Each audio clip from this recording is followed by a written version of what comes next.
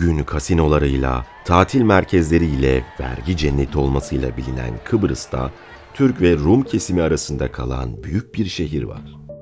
Terk edilmiş bir şehir. Öylesine bir terk ediş ki yemekler sofrada, televizyonlar yayında öylece kalmış. Dünyadaki en ilginç ıssız şehirlerden biri.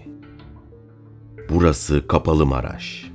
Diğer bir tabirle Varoşa bir zamanlar dünyanın en popüler turizm merkezlerinden biriydi. Hollywood ünlüleri burada sıradanlaşıyordu. Marilyn Monroe dahi o turistler arasındaydı. Artık oraya hayalet şehir deniyor. Terk edilmiş, kapatılmış.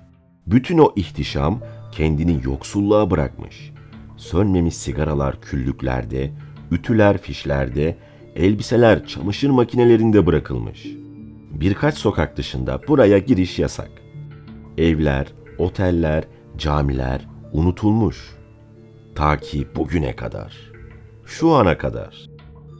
İnternette gördüğünüz görüntüler genellikle halka açık olan kısımlar ya da çok az kişinin adım atabildiği yerlerdi. Bense kimsenin uğrayamadığı bölümlerine götüreceğim sizi. Türkiye burayı açmak istiyor. Dünya ise kapalı tutmak. Bakalım sonuç ne olacak? Durun durun. Duvarda yazana bir bakın.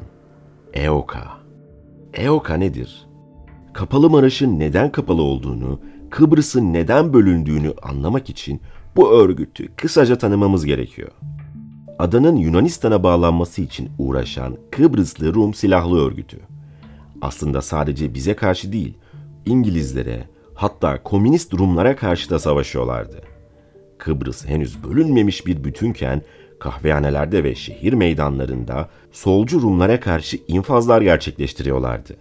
Kendi içlerindeki bu meselenin tamamlanmasıyla beraber oklar adadaki Türklere çevrildi.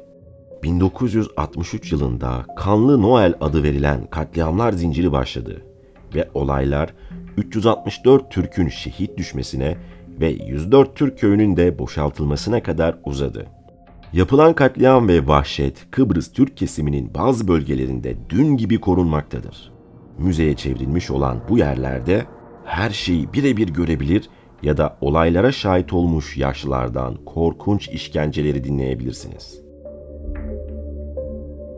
Hadi daha derinlere gidelim. Bir kenarı yıkılmış şu binaya dikkatle bakın. Şehrin boşaltılması için tek bir bomba yetti.'' Buraya yapılan tek atıştan sonra Rumlar yemek yedikleri masaları bile toplamadan Maraş'ı terk ettiler. Ama bu kaçış içerisinde masumiyet barındıran bir kaçış değildi. Türklerin o günlerde korkunç katliamlarla öldürülmesinden dolayı Maraş'taki Rumlar Türk ordusu intikam almaya geliyor. Onlar da bizi katledecek korkusuyla buradan hızlıca gittiler. Gitmeyenlere ise dokunulmadı. Tabaklar, şişeler, şarap bardakları yerli yerinde duruyor. Okul defterleri, inciller, yanan mumlar, kandiller hiçbirini almamışlar. Şehirde yaşayan Türklerse zaten EOKA gibi örgütlerin silahlı sindirimi sonucu burayı boşaltmışlardı. Şu an gördüğünüz yere dikkat edin. Burası İngiliz kraliyet ailesinin oteli. Kimilerine göre bu otel dünyanın ilk 7 yıldızlı oteli olarak inşa edilmişti şu anda kedilerin, akreplerin, farelerin yuvası olmuş. Anlatılanlara göre banyolar, duvarlar bile altın işlemeliymiş. Tabii ki hiçbirinden eser yok. Burası Kapalı Maraş'ın çarşısı. Eskiden son model klasik arabaların dolaştığı, şaşalı partilerden çıkan kadın ve erkeklerin eğlenmek için kumsala yürüdükleri çarşı artık Doğa Ana'nın ellerine teslim edilmiş benim gibi çok az sayıda insan Kapalı Maraş'ın derinliklerini görebildi. Ancak girebilen herkesin şahit olacağı bir durum var ki bu da içerisinin çok büyük bir yağmaya uğradığı gerçeği. Öyle ki Maraş terk edilir edilmez içeriye girme fırsatı bulanlar evlerdeki fayansları bile sökmüşler. Define avcıları ya da yağmacılar taşınabilecek ne varsa alıp götürmüşler. Bu çamaşır makinesi hariç. Ya da birilerinin bıraktığı bu terlikler hariç. Şehrin bir bölümünde Türk askerleri, bir bölümünde Birleşmiş Milletler askerleri var. Herhangi bir provokasyonun engellenmesi adına çeşitli askeri birlikler bölgeyi her daim gözetim altında tutuyor. Türkiye hayalet şehir Maraş'ı açmak istiyor. Tabii ki Birleşmiş Milletler buna müsaade etmiyor. Aslında burayı açmak bizim yasal hakkımız.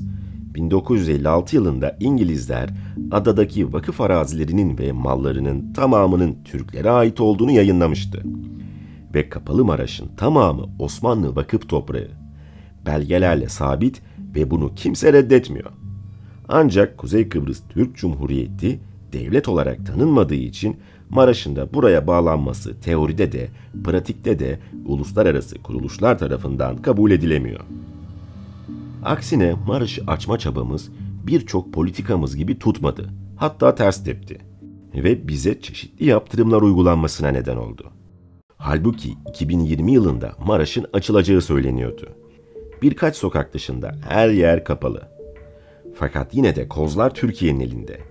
Yeter ki diplomasi bugüne kadar gösteremediği başarıyı yarın gösterebilsin. Ben size bunları anlatırken bir yandan da arkada bugüne kadar çekilmemiş yerlerin görüntülerini yayınlıyorum. Görüntülerin ancak çok az bir kısmını daha önce görmüş olabilirsiniz. Ancak 1878 yılında 2. Abdülhamit tarafından İngilizlere kiralandı. Ve tabii ki İngilizler Kıbrıs'tan bir daha çıkmadılar. Ta ki 1960 yılına kadar. Şu anda bile adada İngiliz üssü var. Maraş'ın bu hale gelmesinin en büyük nedenlerinden biri de yine yanlış İngiliz politikaları. Maalesef bize ait olan vakıf arazileri İngilizler tarafından Rumlara satılmış. Halbuki bu satış işlemi yasal bir uygulama değil.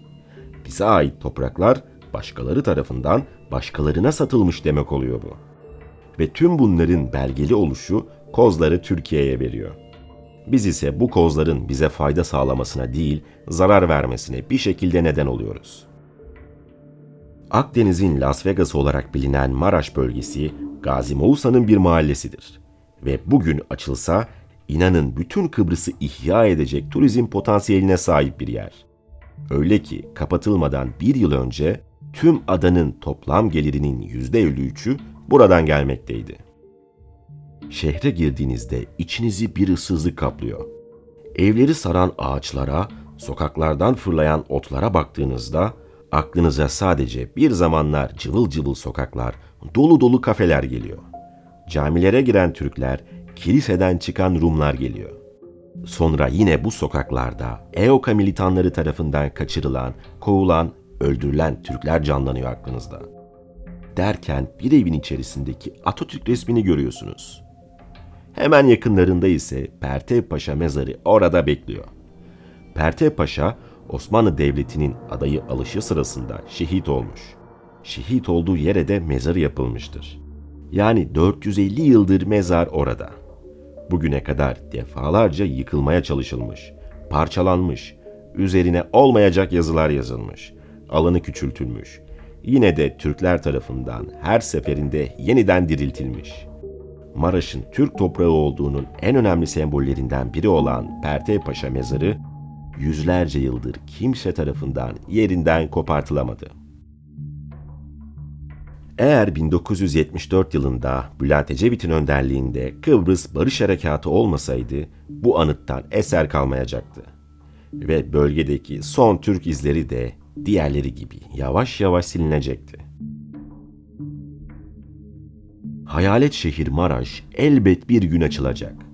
48 yıldır kapalı olsa da bu sonsuza kadar devam etmeyecek. Bunun için uluslararası hukuku iyi bilen, dürüst diplomasi yapabilen devlet adamlarına ihtiyaç var.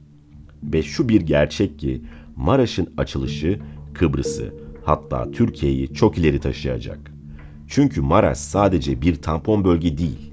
Orada dünyanın kabul ettiği bir Türk varlığıyla Akdeniz'deki yeraltı kaynaklarını seçim vaadi olarak değil, gerçekten çıkarabilmemiz ve kullanabilmemiz için yasal söz hakkımızı pekiştirmiş olacağız demektir.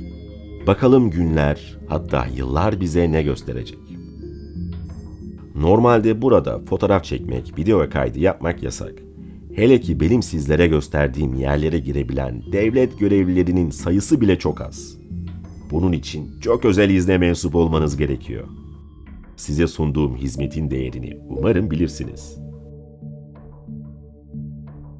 Ayrıca belki yakın zamanda Maraş'ta bir yazlık sahibi olamayabilirsiniz.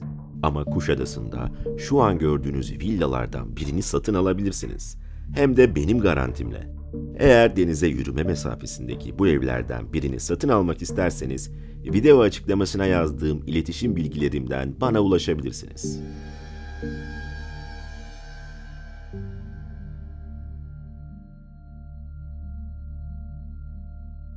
Ben Engin Deniz. Kanalıma abone olmayı ve beni Instagram hesabımdan takip etmeyi unutmayın. Görüşmek üzere.